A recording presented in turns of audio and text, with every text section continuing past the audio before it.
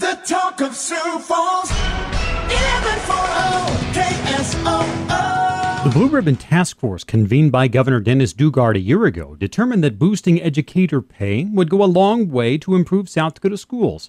Sioux Falls Superintendent Dr. Brian Maher says there will be gains both in the short term and long term. We haven't seen the benefit of it yet. We're it, it, it, just in a few months from now begin to impact teacher salaries just this coming year. So that's going to be a very good thing. Our teachers are going to see on average a 6.82% increase this year. And I think we're going to see the benefit of that for years to come. Another result of improving salaries, according to Maher, would be an easier path to recruiting and retaining teachers down the road. I think we're going to see, in terms of being able to target youngsters into the profession of education, I think we're going to see that uh, as a benefit of this over time. Also, I I think we're going to see our retention rate for those who have chosen education to stay in the profession. So I, I think this is going to be a very good thing. Maher points out that other employee groups within the Sioux Falls School District will also prosper because of the tax increase.